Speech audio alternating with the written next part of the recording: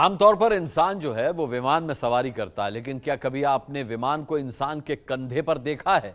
Social media पर इन दिनों ऐसी ही तस्वीर वायरल हो रही है। कौन बताएगा इसका सच, वायरल सच के अलावा? आप अपने टीवी स्क्रीन पर इस वक्त एक विमान देख रहे हैं। विमान के आसपास काफ़ी भीड़ लगी हुई है।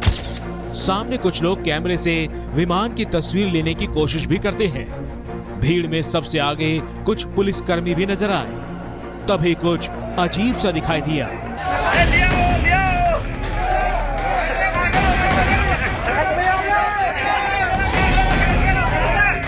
भीड़ ने 500 किलो के विमान को उठा लिया।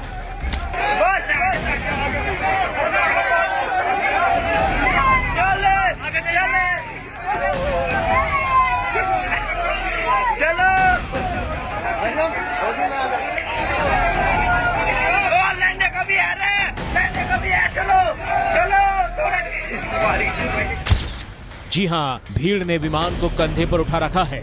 जिसने भी ये वीडियो देखा, उसे अपनी आँखों पर यकीन नहीं हुआ।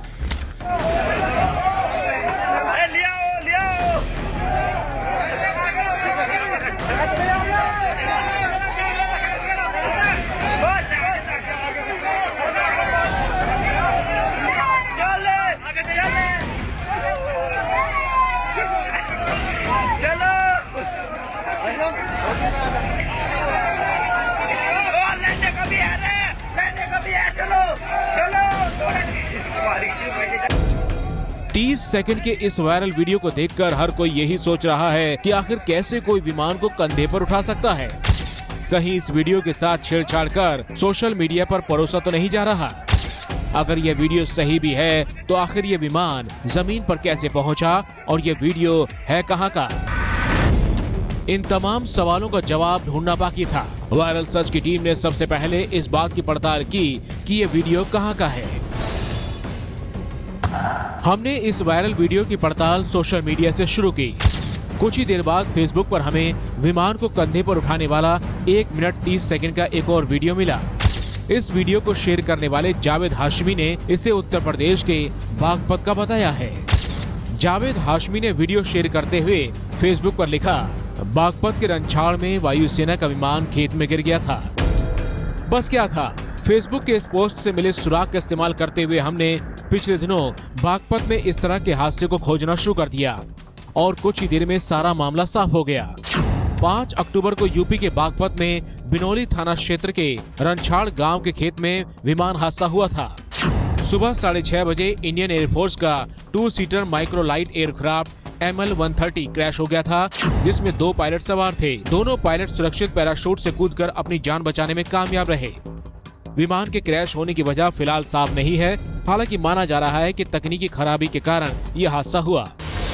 हमने इस बात की भी पड़ताल की कि भारी भरकम विमान को उठाए ये लोग कौन हैं और इन्होंने विमान को क्यों उठा रखा है? तो ये पता चला कि 500 किलो के विमान को उठाए लोग रनछाड़ गाँव के किसान थे।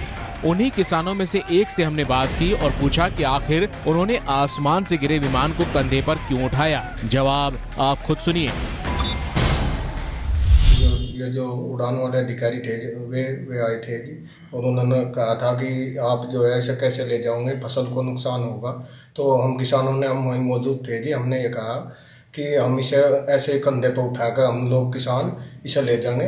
विमान को उठाते बोझ नहीं लगा, क्योंकि विमान वाले जो हमारे भाई जवान हैं उन्हें जो है जी उनके लिए हमारे लिए उनके लिए जज्बा था कि जब ये लोग हमारे लिए देश के लिए इतना काम करते हैं तो हमें इनके लिए बोझ नहीं लगा बिल्कुल भी फिर क्या था?